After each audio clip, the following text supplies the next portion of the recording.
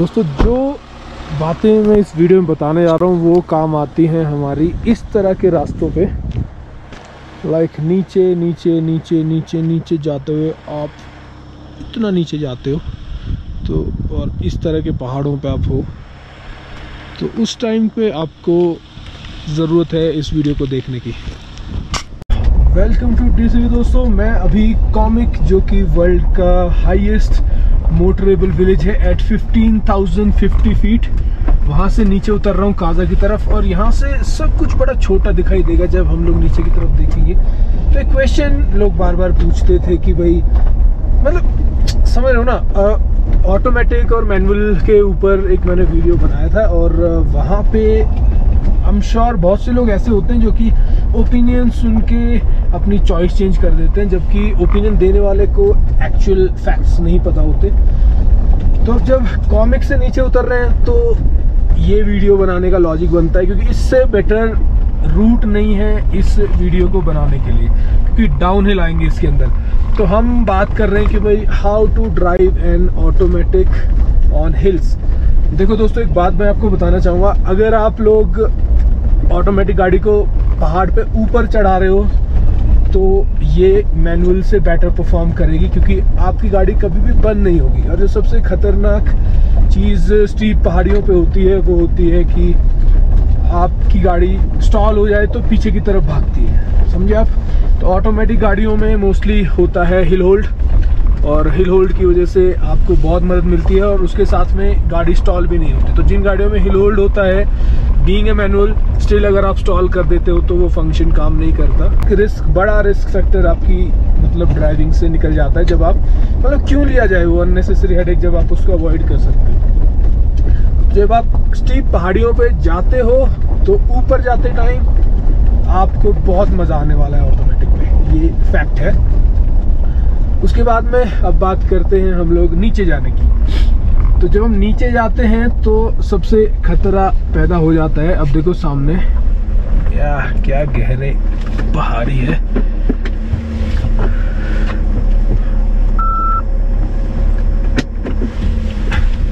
तो जब हम नीचे उतरते हैं उस टाइम पे तो ऑटोमेटिक की एक्चुअली आप उसको या तो कमी बोल लो या फिर आपको अपना दिमाग उस टाइम पे लगाना होता है ऑटोमेटिक की जगह। तो ऑटोमेटिक गियर बॉक्सेस में क्या होता है कि उनका एक स्पेसिफिक सेटअप होता है, जैसे वो ऊपर चढ़ रहा है तो उस पर लोड है तो उस टाइम पे वो थोड़ा सा ज़्यादा आरपीएम लेगा बट जब वो नीचे उतर रहा है तो गियर चेंजेस बहुत आसानी से ऑटोमेटिक गियर बॉक्स करता है अटेन स्पीड एक स्पेसिफिक आरपीएम और स्पीड लिमिट और लोड को चेक करके। लोड इन द सेंस कि नीचे उतरते टाइम लोड नहीं होता गियर बॉक्स पे तो उसको लगता है कि भाई आरपीएम रेंज आ गई, जहाँ पे गियर चेंज करना है, वो गियर चेंज करता रहता है और स्पीड बहुत ज़्यादा बढ़ जाती है। तो वहाँ पे आते हैं दो तीन खतरे।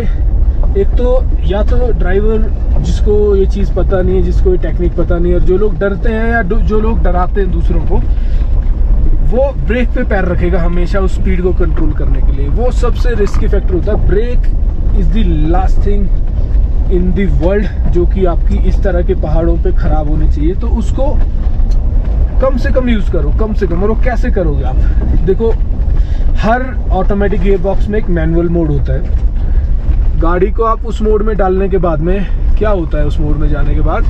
कि गाड़ी का जो शिफ्ट आरपीएम होता है, वो काफ़ी हाई हो जाता है, लगभग रेड लाइन के आसपास पहुँच जाता है। तो वो आपको इंजन ब्रेकिंग प्रोवाइड करता है, क्योंकि आप वहाँ पे गियर्स को कंट्रोल कर सकते हो। आप गियर्स को उतना ज़्यादा हाई नहीं जाने दोगे। एंड उस वजह से जैसे आपने सेकंड गियर में गाड़ी को डाल दिया तो अगर आपकी स्पीड बहुत लो होगी तो फ़र्स्ट में चला जाएगा बट अगर आपके आरपीएम हाई हो गए, आपकी स्पीड थोड़ी सी हाई होगी तो वो अप गियर में नहीं जाएगा। और यही रीज़न है कि ये आपको थोड़ा सा ज़्यादा इंजन ब्रेकिंग देता है। देखो, अभी जो एक टर्न आया है, बहुत ही स्टीप है। तो यहाँ पे अब जैसे मैं अब स्लो होऊँगा, हो सकता है ये फ़र्स्ट गियर में जा चुका हो जब तक हम टर्न लें। लेट मी सी नहीं सेकंड में ही था बट यू नो मैं अभी कुछ भी टच नहीं किया हुआ, मैंने ना थ्रॉटल ना ही ब्रेक एंड ये कंट्रोल स्पीड में गाड़ी अपने आप नीचे उतर रही है। अगर इसमें भी अगर बहुत ज़्यादा हाई स्टीप स्लोप है, लंबी स्लोप है, जहाँ पे गाड़ी स्पीड पकड़ रही है तो आप हल्का सा ब्रेक पे टैप करके स्पीड को एक लेवल पे मेंटेन कर सकते हैं। बट ब्रेक ड्रैग करना एक बहुत ही गंदी आदत है, जो कि मतलब कई लोगों ने फेस किया है, फिर ब्रेक पैड्स उनके या तो जल्दी ख़त्म होते हैं इस वजह से या फिर कोई एक्सीडेंट हो जाता है and then they start heating automatic gear boxes मैं आपको बता रहा हूँ, अगर आप ज़्यादा ट्रैवल करते हो और एब्यूज़ नहीं करते गाड़ी को मतलब समझ रहे हो आप हमेशा फुल थ्रॉटल टाइप की ड्राइविंग नहीं करते तो रिलायबिलिटी में भी ऐसा सच इतनी कोई बड़ी दिक्कत नहीं होती इन गियर बॉक्सेस में। इनका एक तरीका होता है कि भाई आप रुकने के बाद ही रिवर्स और यू नो ड्राइव मोड डालो। इस तरह की चीज़ें होती हैं जिससे कि चीज़ें अंदर ग्राइंड ना करें। और आप मैनुअल मोड में ऊपर से नीचे जाते टाइम भी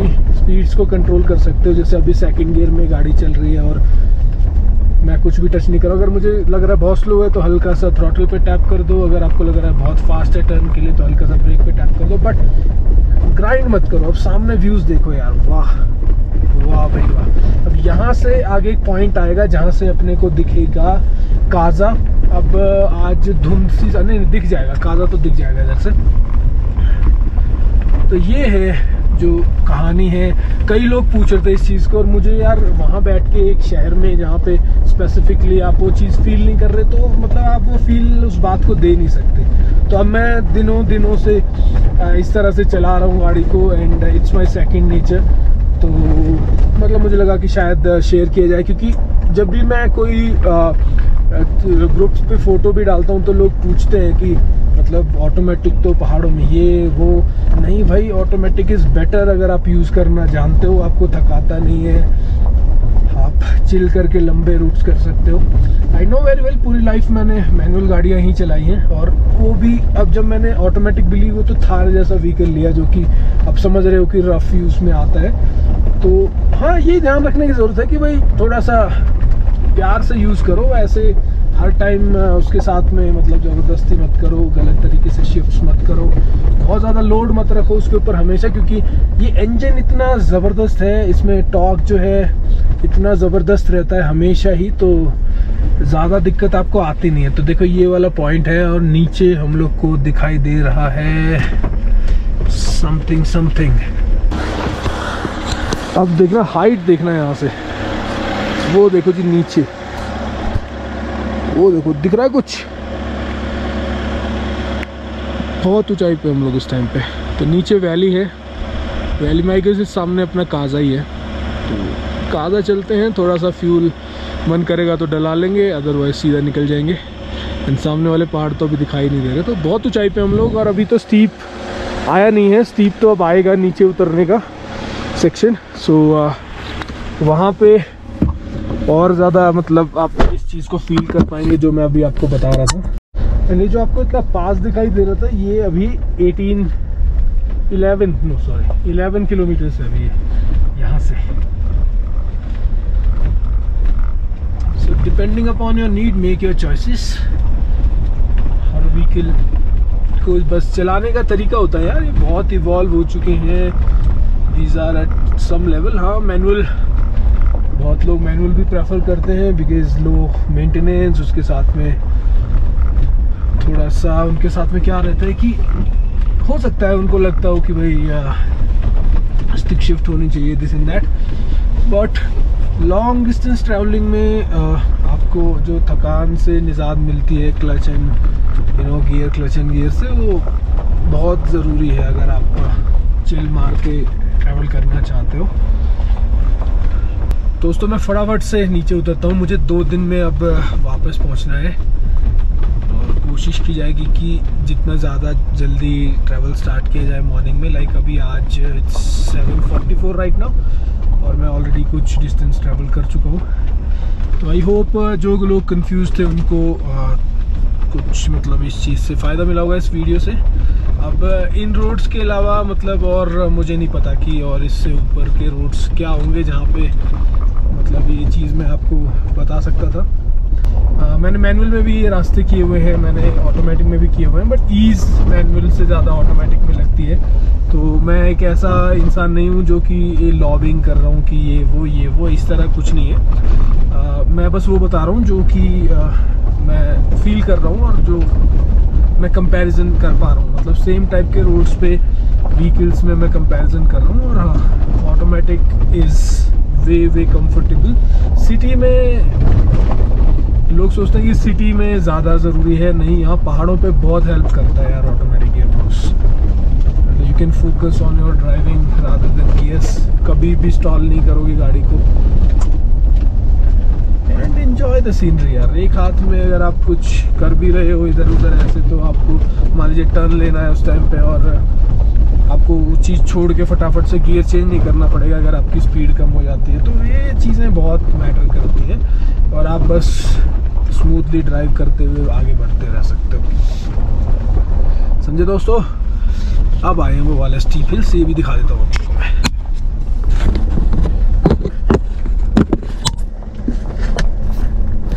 तो जो ये वाला सेक्शन है, ये सब बंद हो जाता है कुछ लाइक ये जून, जुलाई में खुलेगा देन उसके बाद में ये अगस्त, सितंबर में बंद हो जाता है। यहाँ पे 16 16 12 12 फीट की बर्फ़ गिरती है। तो देख लो आप कितना एफर्ट है इन जगहों पे आना, रहना। एंड कुछ एक छोटी सी विंडो मिलती है जहाँ पे आप आके इन चीज़ों को देख सकते हो एक्सपीरियंस कर सकते हो। तो अभी मैं ड्राइव मोड में चला रहा हूँ। देखो स्पीड कितनी ज़्यादा बढ़ती जा रही है अपने आप और ये अभी थर्ड गियर में होगी और ये फोर्थ में भी डाल देगी। बट रास्ता मुझे दिख रहा है कि काफ़ी दूर है अभी टर्न तो मैं मतलब गाड़ी को फ्लो में जाने दे रहा हूँ। तो ये बस सारी की सारी आपकी मतलब ड्राइविंग स्टाइल है जो आप डेवलप करते हो धीरे धीरे चलाते चलाते। तो अभी जैसे गाड़ी भागती जा रही है, भागती जा रही है। जब बहुत ज़्यादा आपको कॉन्फिडेंस जब तक ना हो तो आप मैनुअल मोड में गियर कंट्रोल करके चला ब्रेक ग्राइंड नहीं करना है। किसी भी सेंस में ब्रेक पे पैर हमेशा नहीं रखना है, नहीं रखना है, नहीं रखना है। क्योंकि उससे डेंजरस कुछ नहीं है। जिस टाइम पे आपके ब्रेक्स ने आपका साथ छोड़ा, आपका गेम ओवर है। इन जगहों पे।